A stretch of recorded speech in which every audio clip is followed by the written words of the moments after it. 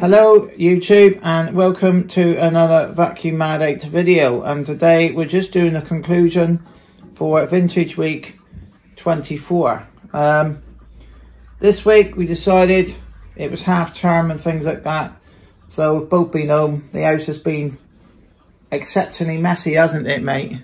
Because mm. we're going to show you the contents of the bag, that's to, sh to show you. So this one we normally do... open the bag. Yeah, yeah we can do yeah. So we normally do a bit of a front, a bit at the start where we have the thing where you show me cleaning up. Um, today, no. I'm not really going to do that to cut the video time down a bit. Um, plus as well, quite often I do get a copyright strike with the uh, music I use. Um, like you say, YouTube is changing it all the time. Yes, yeah. there should be root the website and smash it up. That's right. So yeah, so YouTube is changing, rules are changing. Um, uh, so I've only ever had two copyright strikes, but being non-monetized videos, um, it doesn't affect me in some ways. Um, so we're not bothered about that. So, you know, somebody else made money off our video, didn't they? Because cause I, I had stole, well, I didn't steal a bit of music, but I used um, some music on an app. So, uh, yeah, so today we're just going to keep this down a little bit closer. So I can do a little bit of a clean with it. I've done a full house clean. um, this brush here, lovely. This two-in-one tool. Um, one of the grapes with a thing, with a tool. But it always blocks. Is it's lovely this way, isn't it? It's got tiny holes. But once you stick it in that way, anything larger than, say, porridge oats or a piece of cardboard will not go through. So that's one gripe with it. So that's been the main issue with the machine. The machine's performed very well all week. The suction on it. I've, I've the head's quite rubbish. Yeah. The, uh, can't remember. It's been a little while since we've had this one out. A 564. So it's a 650 watt motor, so it would be up into today's standard. Um, pretty good suction on it. So this has about the same just a bit more power than a Henry motor if you compare it, but the suction I would say is about half. Obviously down to the design of the fan. Um, these motors, um, when you spin up a Henry motor or a Dyson, they, they you can hear them spinning up faster. These these seem to run slower, but um, they just seem to last a long, long time. So this machine's 47 years old, looking very good for the age, and the hose is in cracking condition. So, yeah, so we're going to talk about picking up with a thing. Well, did take a gamble using this one for the week, but it did um, spend a bit of time. It had a few problems with the floor head. Now, this floor head here, so in the 70s, they made a flip over floor head. Um, Hoover used it as well. I don't know who stole whose idea. I don't. I think possibly my lecture come out first, but I just think the Hoover one was slightly better um, in design. So this is the side, this is the top half of it. So if you turn it over, get the right side up. So if you have a look here, you've got your your brush, your bristles, your brushes for um, hard floors. Now this was actually a very good hard floor tool indeed, but the only thing that was wrong with it was these stupid things here. Um, anything bigger so this is what I would call like, you know, in your kitchen, you would generally have larger particles than you would in your, in your, in your living room. But I just felt that I think I had a little bit of salad, a little bit of lettuce up there and it wouldn't even go in the hole. So I had to take it, so it was stuck to it and blocking the airways. And then when you flip it over again, it gets even tinier. It's even smaller. Um, so that basically meant you could not suck hardly anything up at all with it. So apart from dust, that was the only thing you could suck up with this. Um, when you look at the... Um, it's got it cheaper in actually, when, when you look at, say, the older Hoover Constellations and the 60s machines, they had big O's on them, didn't they? And I mean, mm. you, know, they were a lot better. So the issue, the main issue with this one was, it was great for up top cleaning, but it was not good for the floors. Um, I've actually vacuumed a, a little while ago, so what we're going to do, we're just going to um, give this one a quick push around the room, just to give it a final clean. I did a full house clean this morning with this one. Didn't have no problems at all. Um, the brush actually is very good for the screens. It's nice and soft. Um, probably not as soft as this this brush. These brushes here do remind me of the older style Henry ones, don't they? The new ones aren't like that anymore, are they?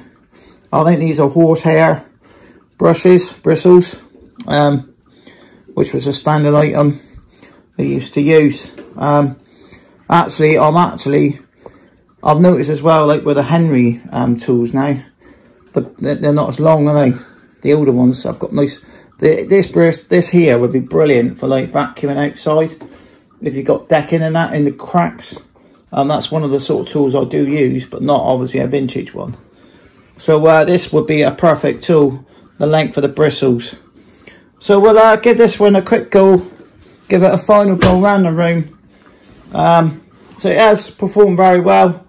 600, 650 watts. It's a well built machine. It's a lovely looking machine. I think this one was a more of a budget machine. I think some of them come with cable rewinds, didn't they? Three, I, four, five, is it? I want the one that's got the bag big uh, oh, yeah. Yeah.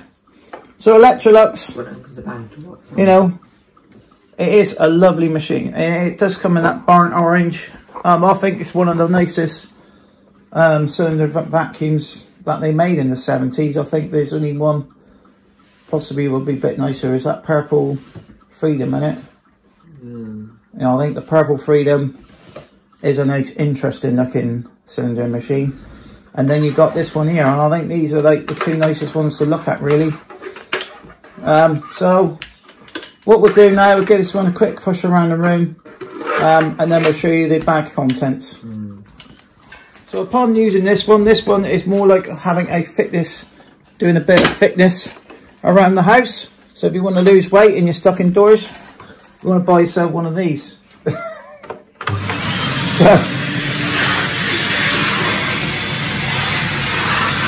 it? It's hard work, isn't it? It's not brilliantly at cleaning, but I suppose it is, you know, when you compare, but this is much, much like having using a Henry really of today, but without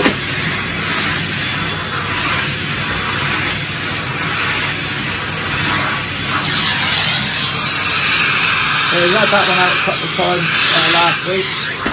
Not obviously on this week.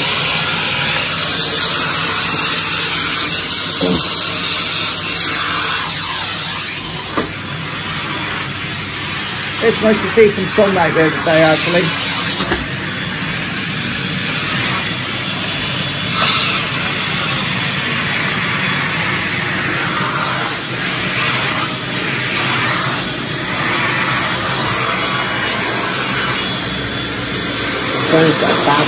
Alright, that'll be enough now, I think.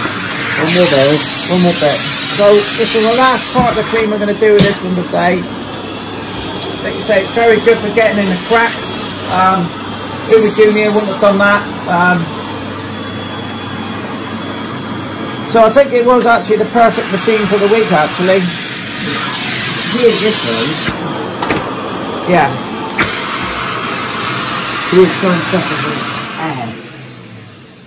so what we, we've been sucking up batteries with this one in the weekend, we? So we've he's had batteries in it.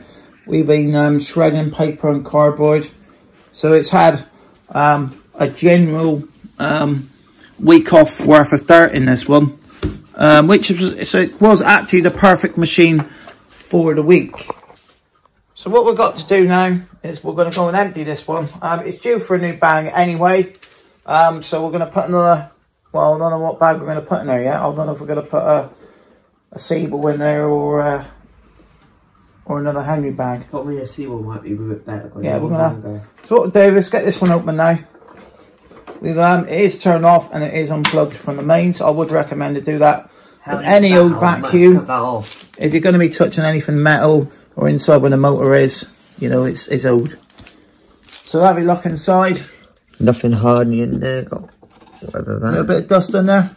No, the guy's got a piece of paper on it. Shit.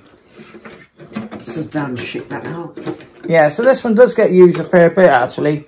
I was collecting. The problem with this, this the way we got this bag set up, look, we're gonna have to cut some.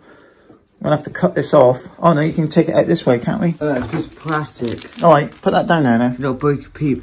It's like a little broken piece of plastic. Yeah, right. Connection hooks. That comes off, doesn't it? That reminds me of like what you have in the wash in the tumble dryers, the lint, the lint things. Just gonna get this out. So as you can see, look, we're gonna literally pull this bag out of here. How do you get that out? Just cut that off. Just do So what you can do, you flex it like that and stick it back through the hole. And we just have to cut this open. So we're gonna cut this one open. So we'll need some better scissors. Yeah, the clean cuts we've literally hammered down now. so this one was a nice clean machine, nice clean bag. Rare When we first did the, bags. when we first did the video of it. These are rare now. So what we'll do, we'll, we'll just tip this out, and, and most of this was sucked up this week, and there was a lot of. We have got a KFC. Con- we've got contents of KFC. We got some plastic bags here. Where's some batteries? I have to go through that and find the battery. Yeah, we're gonna have to make sure we take the batteries out. Don't think there is any in there. Uh, wait, oh, I get all this. Yeah, that's it. Ah, that's enough. Yeah, but there's no more batteries in it. There's shit going out. As you can see, we've pretty much sucked up some very large particles with it all week. There might be some spiders and all sorts of things in there. Um, the only thing I didn't suck up today was a wood lice was in the, ha in the house. And I used the cordless machine just to suck up that one um, wood lice. Um, and it was this morning. And I felt, well, I don't really want to... Um, Oh, so we got a battery there, look. So uh, there, that is most near enough all of it for the week.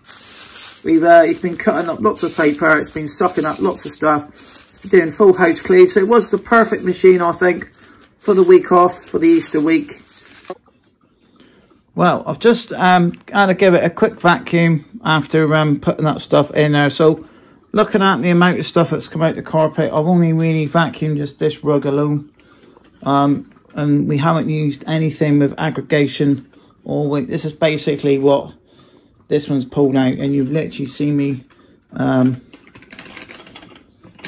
so there you go so which vacuum's better for carpets Dyson. something with straight suction or something with some sort of agitation. So a Henry will not not clean as well as this one on a carpet, but Henry also is more versatile. So it is um, straight suction machines to me. Um, a good thing now is they're not making so many um, straight suction machines with power heads the way into carpets. So yeah, it's just a little insight on the video. Um, so yeah, so thanks for watching. Please subscribe to Vacuum Mad 8. We're, uh, we're going to do some more videos coming up soon. Any more stuff in Yeah, we'll, we'll just chuck it out, out like that and now. Let's put it in the out, out, and out a bit. Sounds more cavity stuff. Yeah, so uh, bye for now.